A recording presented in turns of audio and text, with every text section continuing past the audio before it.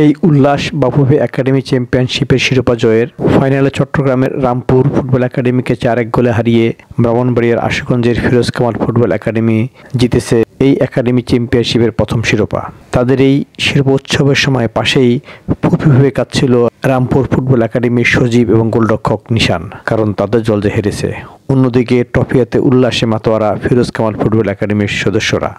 Champion দলের মোহাম্মদ মাহিম সর্বোচ্চ গোলদাতা এবং সেরা খেলোয়াড় পুরস্কার জিতেছেন আর রাকিব মণ্ডলের দখলে গেছে সেরা গোলরক্ষকের পুরস্কার।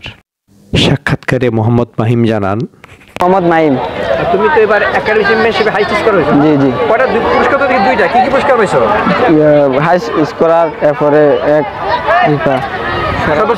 জি জি সেরা খেলা সেরা খেলোয়াড় না? জি জি। হ্যাঁ, এই প্রথম কি ঢাকা খেলতে আসলাম? জি জি এই পথ উৎফুল্ল চিত্তে কথা বললেন সেরা গোলরক্ষক রাকিব মণ্ডল। কি নাম তোমার?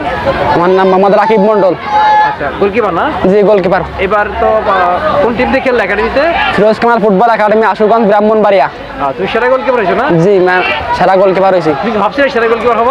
জি সেই ভরসা ছিল আমার যে সেরা গোলকিপার হব একটা উপর পড়া যাব বাংলাদেশ ন্যাশনাল টিমে খেলার শখ আছে। আচ্ছা আচ্ছা আচ্ছা। কেন এই ফুটবল একাডেমিটি প্রতিষ্ঠিত হয়েছে সেটাই জানাচ্ছেন একাডেমির ওনার এবং বর্তমান চেয়ারম্যান আমি অ্যাডভোকেট মুশারফ হোসেন। এই ফিরোজ আমি একাডেমির ওনার প্লাস আমি একাডেমির বর্তমান চেয়ারম্যান এই ফিরোজ কামাল এনা কারা? ফিরোজ মিয়া হচ্ছে মূলত আমার প্রয়াত পিতা হাজি মোহাম্মদ ফিরোজ মিয়া। উনি অসংখ্য দাতব্য প্রতিষ্ঠান রেখে গেছেন দুনিয়াতে এবং আমার প্রয়াত বড় ভাই প্রভাষক কামাল হোসেন আমার আব্বার প্রতিষ্ঠিত সরকারি কলেজের সরকারি কলেজের প্রভাষক ছিলেন।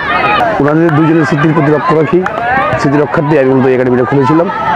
আর আরেকটা উদ্দেশ্য ছিল একাডেমি খোলার, যেটা হয় আমাদের বাংলাদেশের যে ফুটবলের দ্বিতীয় যে পাইপলাইন এখানে মূলত বাংলাদেশ ফুটবলে কিন্তু বিগত পাঁচ, সাত বছর যাবৎ একাডেমিগুলো থেকে প্লেয়ারগুলো আসতেছে। বিভিন্ন বিভিন্ন যে প্লেয়ারগুলো আসতেছে, বিভিন্ন ক্লাবে একাডেমিগুলো থেকে আসতেছে।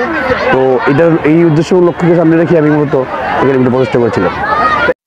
দলের প্রধান কোচ সাক্ষাৎকারে জানান আমি এর আগে আপনার কোচিং করেছি Saif sporting junior team Gopalganj sporting club Asaduzzaman football academy already Dhaka তিনটা কোর্স সাইফ চ্যাম্পিয়ন হয়েছে গোপালগঞ্জ রানার আপ হয়েছে আসাদুজ্জামানও ছিল সাত নম্বর হয়েছে এটা হচ্ছে আমার ঢাকা তিন নম্বর শিরোপা। আমার নাম রিয়াদ এই মেহেদি হাবিব রিয়াদ। আপনি তো এবার এই এই আহ, ফিরোজ কামাল একাডেমির কোচ না? জি। আমরা দীর্ঘ প্রায় চার মাস। আপনার কি লাইসেন্স